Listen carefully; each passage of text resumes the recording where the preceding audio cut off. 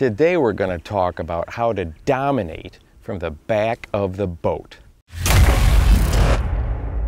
With this COVID-19 pandemic going on, the number of anglers hitting the water is at an all-time high. States like Minnesota that sell thousands of fishing licenses every single year are way up. If you go into your favorite tackle retailers, you may notice that there's all kinds of empty shelves. They're out of rods, reels, combos.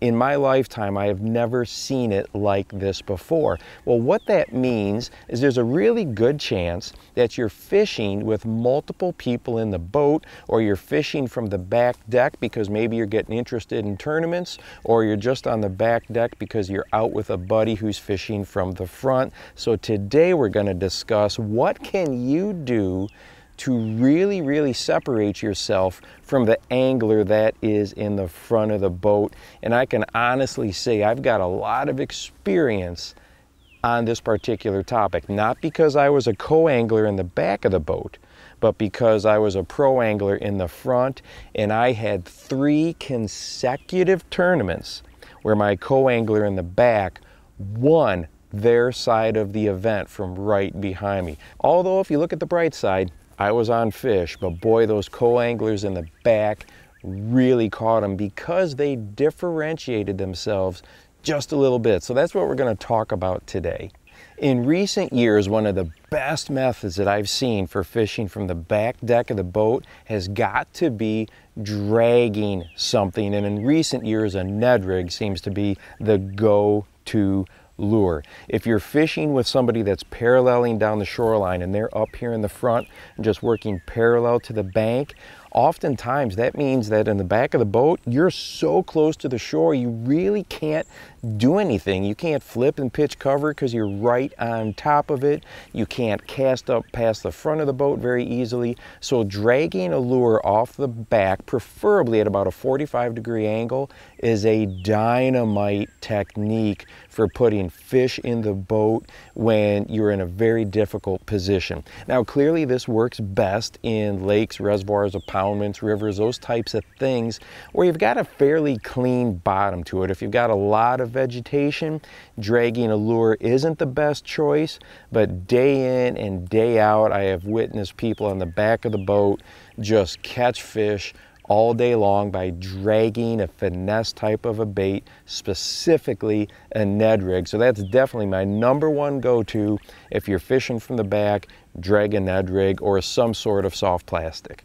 My second tip for you is to really pay attention to the shoreline composition of the area that you are fishing. If you come into a part of a lake or something that's pretty narrow or you're in a channel, definitely fish the other side if possible. A lot of times when you go into the back of pockets or you're going up into a tributary, a creek arm, or maybe some boat channels, if you can reach that other side, if, you, if the angler in the front is fishing off this way, go ahead and fish off this side. You're getting some fresh water that hasn't had a lure presented to those particular bass yet. So that's my number two tip.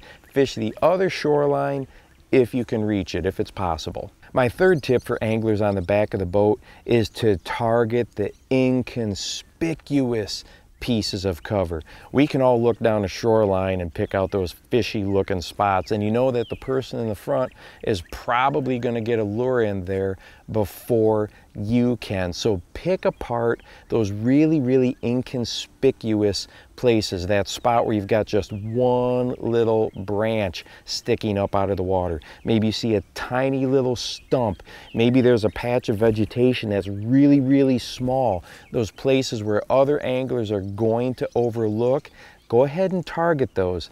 And the neat thing about them is oftentimes on those isolated pieces of cover, if there's a fish there, often it's a bigger and better fish because they dominate that spot. Number four is if you are working down the shoreline and flipping and pitching cover, make sure that you have on something different. If the angler in the front is using a flipping jig, put on some sort of Texas rigged soft plastic. If they're fishing a soft plastic up at the front, make sure your plastic is a little bit different. Maybe you've got a slower rate of fall, you change the weight. We just had a video on different sizes of worm weights. Make yours heavier, make yours lighter, throw a worm instead of a creature bait, whatever. Make sure you do something different. And if you're fishing with just a buddy, this works out excellent because you can use the two of you to dial in what the bass are wanting on that particular day.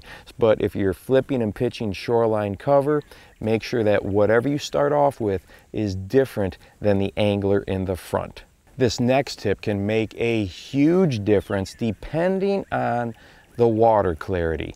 If you've got a slightly stained body of water or one that is clear, use the lightest line that you can absolutely get away with for the cover and the conditions. Now, if you have a body of water that's really dirty, well then the fish are gonna be really shallow and of course you're gonna be using something heavy.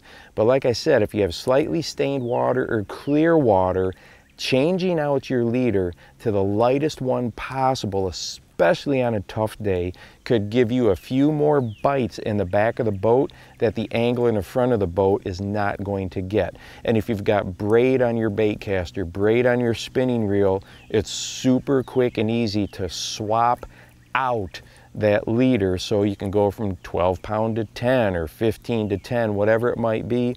But if you're not getting the bites, experiment with line diameter and I promise you that you're going to get some more fish on those really, really tough summer days. And my last tip for you is to fish a slightly different depth. Now, obviously, depending on what the person in the front of the boat has chose to do or where you're at on the lake or river. This may or may not be possible, but if you're coming down a shoreline and, and the person in the front is fishing off this side, go ahead and try to fish off this side. Get that lure in a little bit different depth of water. This is especially true if you're fishing in the spring of the year and the fall of the year as those bass stage and transition and come in and out of the shallows. If you just change up the depth by a few feet, maybe five feet, you could put yourself on a much, much, much better quality of fish. Uh, I was fishing a tournament on Grand Lake of the Cherokees,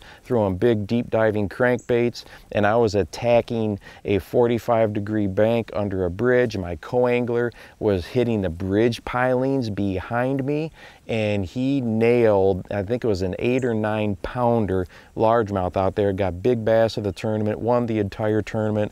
When that thing came up out of the water, it just looked like a big whale coming up to the surface. But he was targeting a slightly different depth. I was catching three pounders, four pounders in the front, and here he doubled the size just by targeting a little bit deeper water. So anglers in the back of the boat, that is a critical component to not maybe only finding more fish, but a better quality of fish. It won't be long if you're stuck in the back of the boat and you go through some of these different tips that you're gonna have the angler in the front turn around and say, hey, what are you doing? Can I try that as well? Believe me, I've had to do that myself. So if you're in the back, these are some excellent tips that help you put more fish in the boat, better fish in the boat. And if you're thinking about it, if you've been fishing some tournaments and you want to take it up to that next level, check out this video right here on how to become pro staff. I think you'll find it very interesting. And don't forget to go out and encourage someone today. You never know how you might just change their life. For the Bass Fishing Life, I'm your host, Steve Rogers.